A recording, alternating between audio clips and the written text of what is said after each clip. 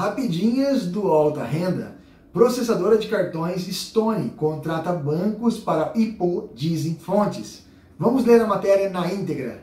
A processadora de cartões Stone contratou os bancos Goldman, Citigroup e JP Morgan para coordenar sua oferta inicial de ações IPO na sigla em inglês em Nova York. Três fontes com conhecimento do assunto disseram a Reuters.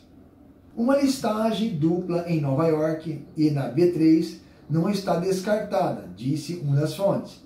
Morgan e as unidades do Banco de Investimentos do Itaú Unibanco, Credit Suisse, também participam da oferta. Duas fontes disseram sob a contra a, sob condição de anonimato, porque não são autorizadas a discutir o tema publicamente. Goodman, JP Morgan, Credit Suisse, Itaú BBA e Citi não comentaram de imediato, a Stone não quis comentar. A oferta de ações deve ser principalmente primária, o que significa que a companhia vai emitir novas ações e receber recursos para investir em expansão. Mas alguns acionistas da Stone também gostariam de vender parte de suas ações.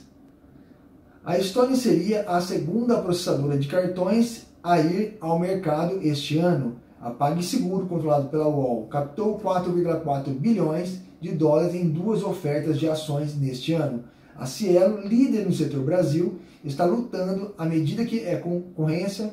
A Cielo, líder do setor no Brasil, está lutando à medida que a concorrência de iniciantes como Stone e PagSeguro aumenta.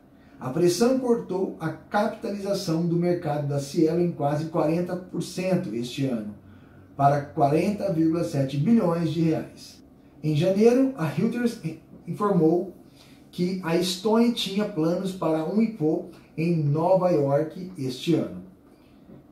Bem, com isso, mais uma concorrência para nós aí, né? Muito bom, inclusive, a maquininha da Stone, esta que eu estou mostrando no vídeo.